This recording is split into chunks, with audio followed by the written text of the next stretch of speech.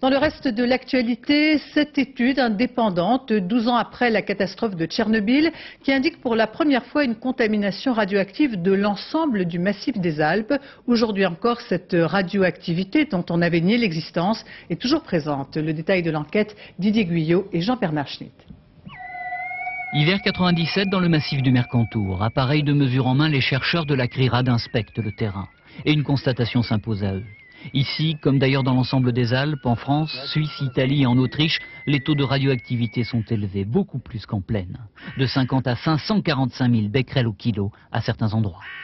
La pluie a fait descendre les radionucléides jusqu'au sol et en plus, certaines parties du nuage ont vraiment baigné la végétation, imprégné la végétation et produit ainsi un dépôt même sec, c'est-à-dire un dépôt instantané immédiat.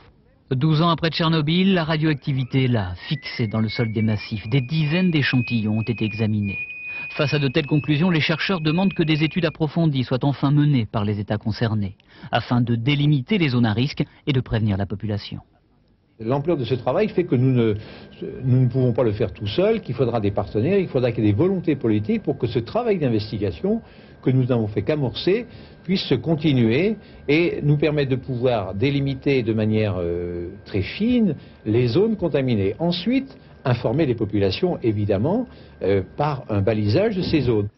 Les autorités officielles et les défenseurs du nucléaire ne contestent pas les traces de radioactivité décelées dans les Alpes. Mais ils estiment tout de même que le rapport de la CRIRAD est beaucoup trop alarmiste. Il n'y a aucun danger pour les populations qui vivent dans ces régions, ni pour les produits venant de ces régions et qui peuvent être euh, consommés ailleurs, et encore moins pour les touristes qui fréquenteraient ces, régions, l'alerte est tout à fait hors de proportion euh, avec les taux calculés de radioactivité résiduelle sur ces tâches. En mai 86, le gouvernement annonçait que le territoire français avait été totalement épargné par le nuage de Tchernobyl. Douze ans après, les chiffres démontrent que la radioactivité est toujours bel et bien là. Les traces sont faibles, mais elles existent.